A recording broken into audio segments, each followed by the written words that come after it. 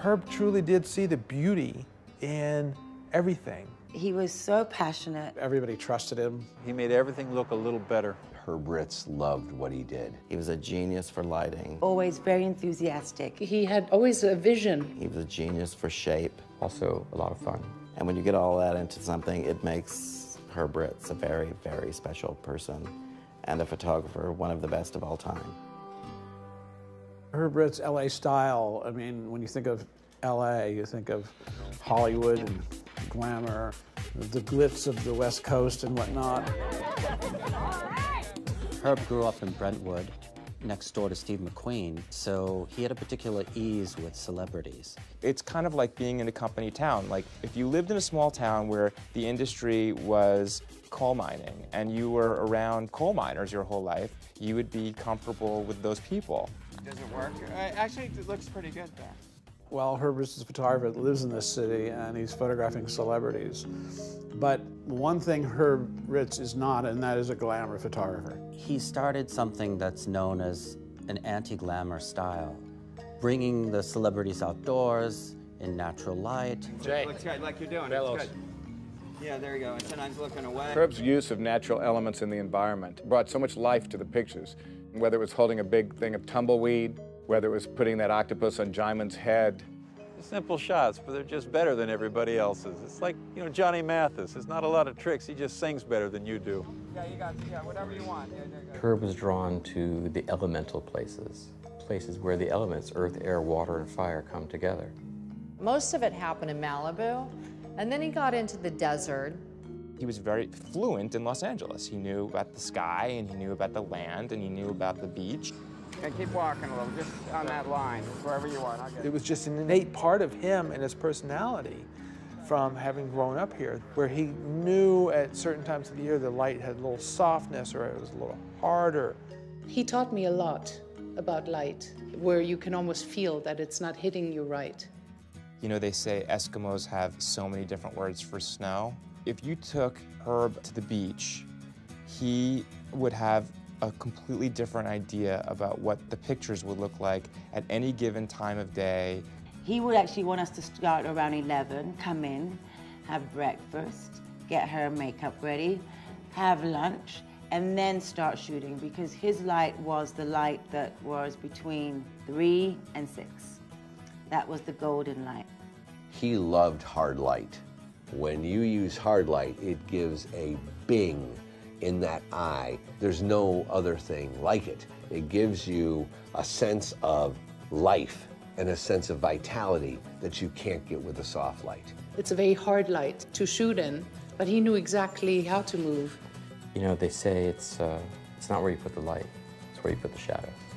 And Herb's use of shadows is very emblematic of that. I remember when he first shot me for LA Style cover with that light, I was just like, oh my God, oh my God, I love it, I love it. You just fall in love with that light. It's Herb's light. Yeah, there we go. And head up. Yeah, there we go. That's it. And chin up just a little bit more. There's a strong current of sensuality running through everything that Herb Ritts ever touched. Herb could do a male nude, and it was about the lines of someone's body. It didn't seem like porn or dirty. It seemed beautiful. With Herb, I felt like I was doing an athletic nude, which is different to me. Uh, Herb's approach to human sexuality was lyrical, romantic. He shot you so tastefully, and I trusted him. He has a sort of classical sense with his nudes. You know, you can see in Herb's work that he understood painting. You can see that he understood sculpture. Uh, there's some pictures of a man named Tony Ward that Herb created. I think Tony was covered in some kind of black cracked mud. He looked like a bronze statue of a god from the Etruscan or early Greek period. Herb loved lots of texture and sexiness, and I would grab the sand the salt water. I put it in a spray bottle and spray it in the hair and uh, like let it dry and it just gave you like that insane texture. Yeah, you got it, there we go. There's a spontaneity that runs throughout Herb's work that is very strong. Ritts preferred to keep things very simple in terms of his equipment you know, he would of course say it's not about the equipment, it's really about what you do with the equipment. Whether he was using 35 millimeter or two and a quarter format, he used the same type of black and white film. He also never switched out lenses. And he shot without a tripod because he wanted the ability to follow the action. It was constant, like just running and diving. You sort of go around, it's like a dance, because he communicates something to you, you respond. One person takes a step, the other person takes a step. He would watch you, and he had an uncanny eye for picking out the exact right angle where you're going to look your best. Here we go. He kind of really saw you the way his pictures made you look. You know, he really wanted to bring out the best in that person. You just knew that the outcome would be really great.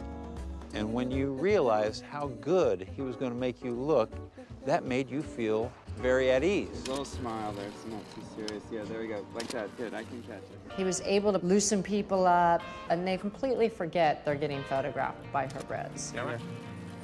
It's a balance between energy and intimacy. The flow and the attitude was just so genuine. You can copy the lighting, you can copy the sort of superficial elements, but you can't copy that sort of connection that the photographer has to the subject. Beautiful, right there, Jay. Hold on. Just there. He could bring you out of yourself, make you feel something that he needed you to feel. And he could make you believe that you could do something that you thought you couldn't do. During this era, if Herb was doing the shoot and the Supergirls were there, it was like family time. That was Herb's house in Hillside. And Stephanie, Cindy, Tatiana, and I, it was just four of us. You know, all the girls just called Herb, see what's going on. Hey, what's up? Come over to Herb's. So Christy came to pick me up, and we looked at her like, How can you not be in this picture? And Herb was like, Christy, get in there. And she did. I can see it right now. Oh, come on, just get in there. Let's just do it. That's the last shot of the day. Let's get, you know, and he can get him to do it. I don't think it would insult him to be considered a commercial photographer, but I think it was important for him to be taken seriously. When he showed up on the set, he was there to make art. In Herb's opinion, they were all photographs that he was making solely for himself. Over the course of his career, he was always finding different ways to express himself in his photography that were him. Got it, hold it. That looks great. I would say that Herb went through an interesting evolution, but not revolution. You just had lots of things happening where Herb was growing in not just as a still photographer, but as a director in this other medium. He uh, was part of uh, the first movement of uh, photographers who became directors of uh, music videos and television commercials. And he did it in his usual style with natural light, with a handheld camera, with a sense of spontaneity, in an elemental place. Chris Isaak. The sky, the clouds, and the two subjects are very sexual, sensual, but not too overly eroticized. We shot that video and we should not have been there. Some people think that behind me is like a blue screen of smoke or something. That's volcanic flow going into the ocean and causing steam to boil up about 30 feet behind me. And every once in a while, like a ball of lava would shoot up in the air like 200 feet. And we just kept shooting. We just, you know, like Herb would just go, okay, we'll just keep shooting. You could say that Herb's work was born of the desert and the sun of California, and it was also ended by those things. The earth from the mountains washes down into these lowlands in the rains, and then it dries, becomes the cracked lake bed, which is covered in dust. When the wind comes up, you breathe that. Those are spores and elements that have been under the earth, some of them for millions of years. Herb's body was vulnerable at the end with his uh, illness, and I think that that location contributed to his death because I think it was a very windy day on the last shoot. Everyone went home from that shoot, I was told, with some respiratory problems, coughing and whatnot. And uh, that caused pneumonia for Herb, and, and, that really was, was the end. And uh, I find that to be somehow poetic, but very sad.